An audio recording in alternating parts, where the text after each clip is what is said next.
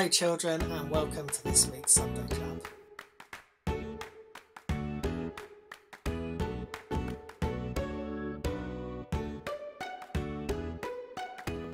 The joy of the Lord is my strength. The joy of the Lord is my strength. The joy of the Lord is my strength. The joy of the Lord is my strength. He fills my mouth with laughter, ha ha ha ha ha. He fills my mouth with laughter, ha ha ha ha ha. He fills my mouth with laughter, ha ha ha ha ha. The joy of the Lord is my strength.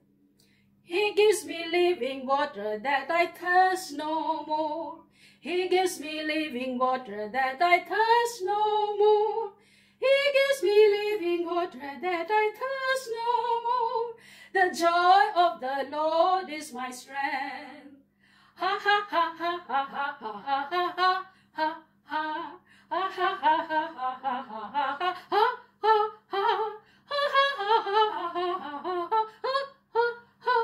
The joy of the Lord is my strength. Thank you, Lord, for your joy. Amen.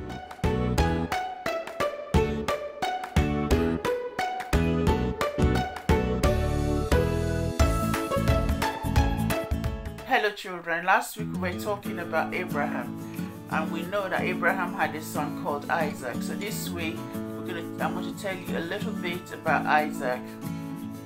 Isaac, when he was about 13 years old, God asked Abraham to sacrifice him for God, and Abraham thought, "This is supposed to be my promised child. How can I sacrifice him?" But your God, you've said you want I should sacrifice him, then I will.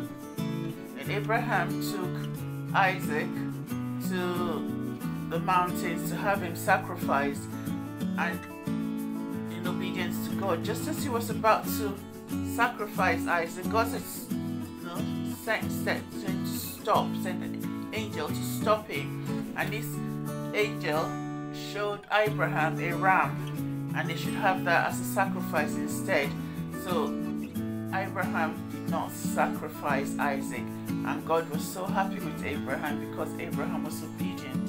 And Isaac was also very obedient because he did not argue with his father about being sacrificed. He was very obedient, and that's the thing about Isaac. He's very quiet, very obedient to God. Isaac grew up, and Abraham sent a servant off to find him a wife. The servant returned with a lady called Rebecca. Now Isaac loved Rebecca, and Rebecca loved Isaac. So they married, and Isaac was about 40 years old at the time. For a long time they had no children, despite God having promised Abraham that through his children he would have many descendants. Isaac knew all about this promise, but he didn't panic. And unlike his father Abraham, he didn't try to help things along. Instead, Isaac was quietly faithful and prayed to God that Rebekah would have children. God answered that prayer, and was when Isaac was 60, Rebekah became pregnant. Not only that, she was to have twins. God said to Rebekah that the younger son would inherit all the blessings, which was unusual as, usually, as it was usually the older son that inherited. The twins were born, and the firstborn was called Esau, and then along came Jacob. There was a big famine in the land, and Isaac wanted to move to Egypt where there was food.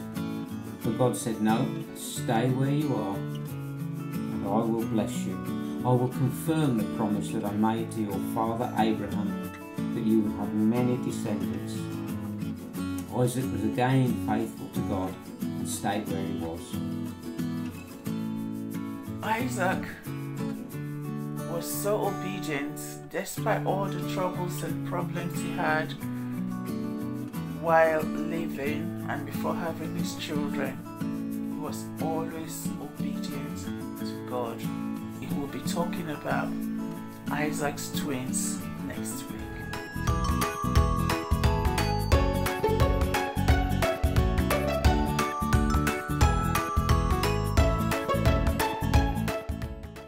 Today we're going to show you how to make a rocket using a bottle, a cork, or in my case a rubber bung because I haven't got a cork to fit, some vinegar and some baking powder.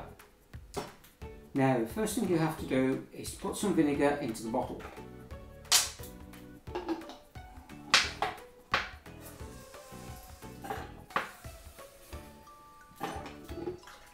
That's it, about half an inch of vinegar at the bottom. Then you take your baking powder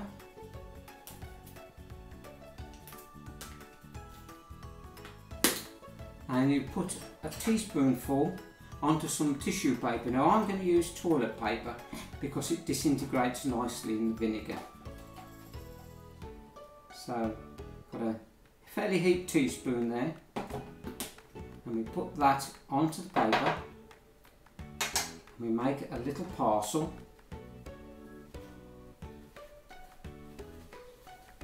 so that we can drop it straight into the vinegar now we're doing this inside because my camera won't reach outside so we're going to be very careful because it can be a bit messy so we're going to do it in a tray so what you then have to do is you drop your baking powder in, give it a good shake, make sure the top's on firmly.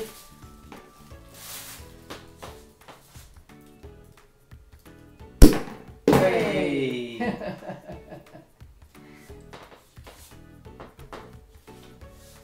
and that's how you make a rocket. Now you can do it using a, a film canister and an Alka-Seltzer tablet, but that's an easy way of doing it. Now, here's a question for you. What do you think was the most important thing? Was it the vinegar? Was it the baking powder? What was it? Have you thought yet? Did anybody think it was the bottle? Now the bottle is not something we think of very much, but it holds everything in. And without that, the gas couldn't form and make a, a nice big lot of pressure to blow the cork out. Now, Isaac was a bit like the bottle. He didn't do very much, he wasn't very special that, to look at, but without him, God's promise couldn't have come through to Jacob. Bye.